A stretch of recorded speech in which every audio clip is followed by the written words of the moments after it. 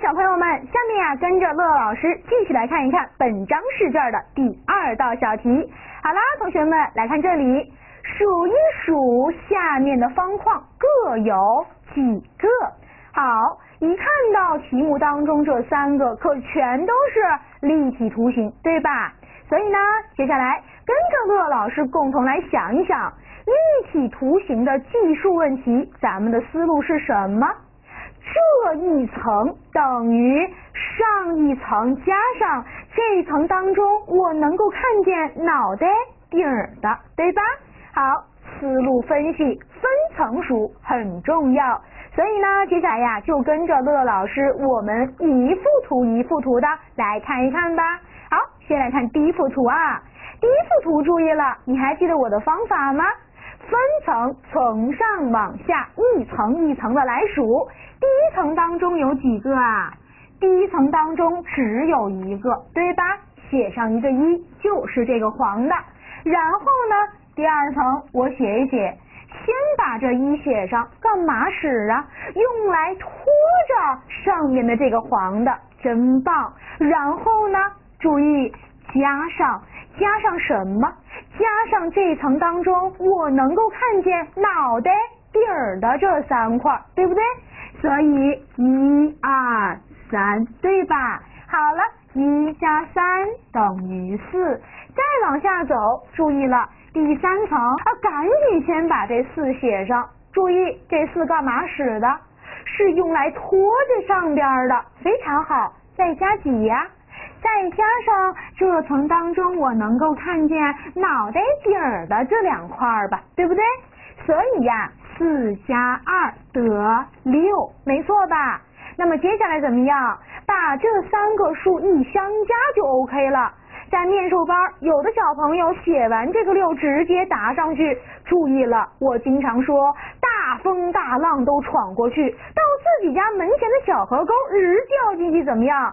摔死了，对吧？淹死了，那怎么办呀？一加四加六，很好，一定要细心哦。所以最后我们算一算，等于多少？哦，应该是十一块，对吧？好了，这一道题先说到这里。接下来我们来看一看这第二幅图啊，同学们，乐老师要比一比屏幕前面哪一位小朋友反应的是最迅速的，看一看我先听到的是谁的声音呢？准备，第一层几块？真棒，一块。第二层几块呢？哦呀，先把这个一写上，对吧？然后。加上一二三，我能够看见脑袋顶儿的这三块，没错，一加三等于四。第三层呢，不管它三七二十一，先把这四写好，没问题吧？四加上我能够看见脑袋顶儿的这两块，所以四加二得六吧，对吧？最后我们算一算，哦，一加四加六，好吧，结果仍然是十一块，怎么样？第二小问你做对了吗？好，再接再厉，再看第三幅图。第三幅图，注意了，仍然是第一层几块？哦，一块。第二层呢？第二层先把这个一写上，用来拖着上边的这个，对吧？然后再加上什么？加上一二三，我能够看见脑袋顶的这三块吧，所以一加三得四，没问题。第三层呢，先把这四写上，好不好？这个四怎么样啊？用来拖着上边的，于是再加上一个，就真好，加上一个一，四加一得五。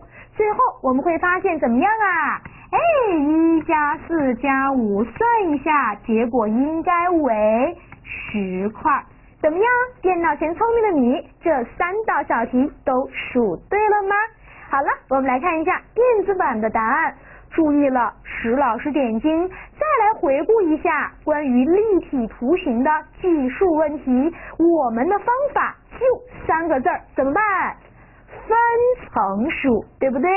而且这个关系式，希望你要牢记，这一层等于上一层加上这层当中我能够看见脑袋顶儿的。